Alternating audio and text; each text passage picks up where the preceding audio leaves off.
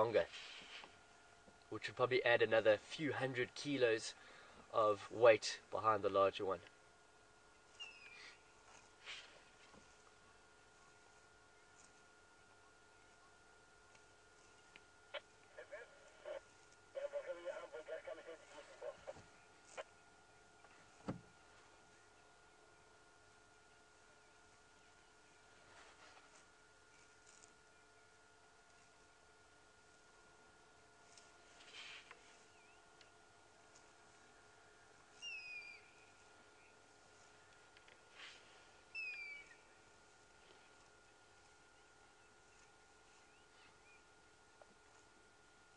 Certainly by looking at the length of the horns, the larger one having the longer horn.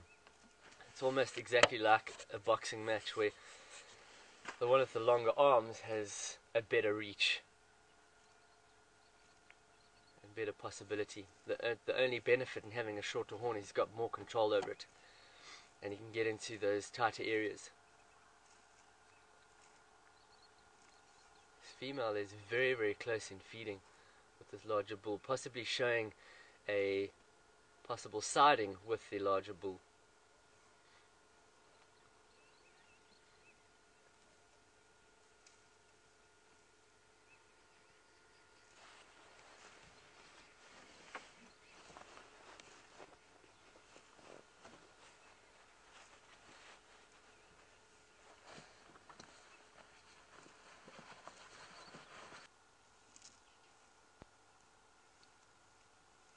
The male.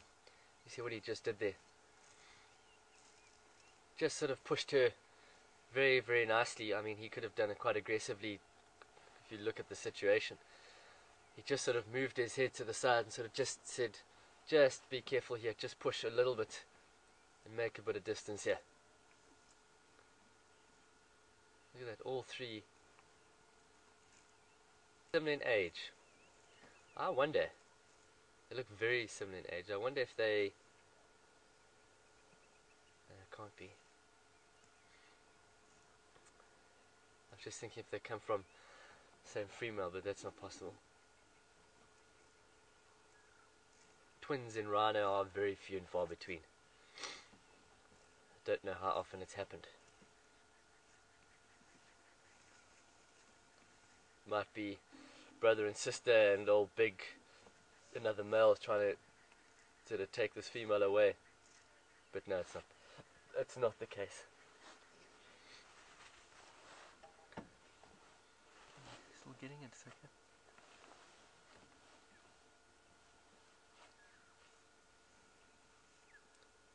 We'll stay with them for a little bit longer and then uh, we'll see if we can follow up on those lion tracks uh, back on Central Road if they cut south or north. Texan didn't seem to see them this morning. He drove over them. So we'll uh, we'll go back and see if they either head down onto Nyala Road South, Vulture's Nest, or Hyena Road. We'll see if they whichever way they go. Rhino. Be blowing my nose.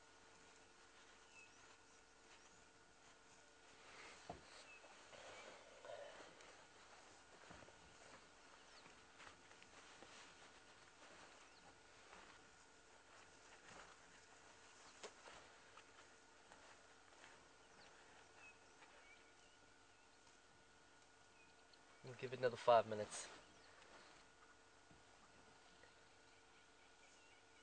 As I said, this might go on all day. They have to stop and feed in between this to make sure they get their regular intake of grass.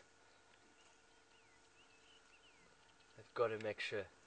Otherwise they're not going to be able to carry on for too long. They, otherwise they'll become completely exhausted. Might go into shock luckily lucky enough that it is in winter and it's nice and cool so they don't risk standing out in the hot sun in summer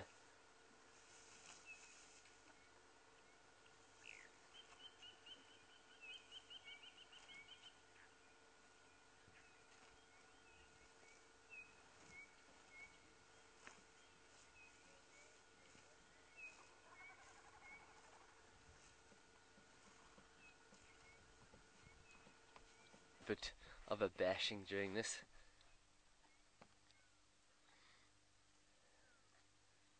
Quite a bit of blood flowing between the two. And uh, part of a rhino's evolution or adaptation when needing to fight is that there is not there is not a lot of blood travel and